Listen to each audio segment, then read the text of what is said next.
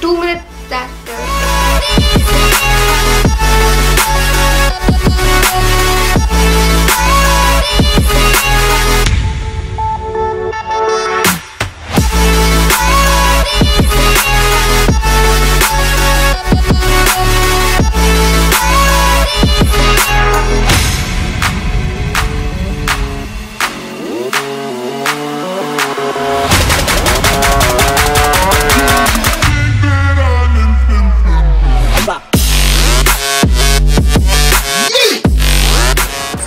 Let me enlighten you the great history of Rajwada.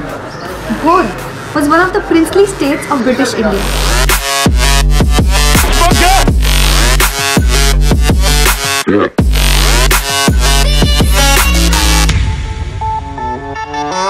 Yeah. The Bhor Rajwada was built in 1869 by one of the Pant Sachiv, Chimnaji Rao.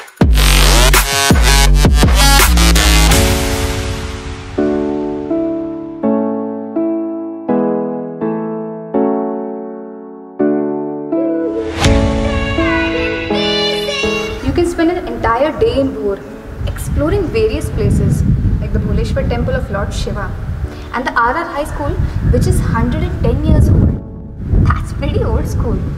Old school, old school. Get that?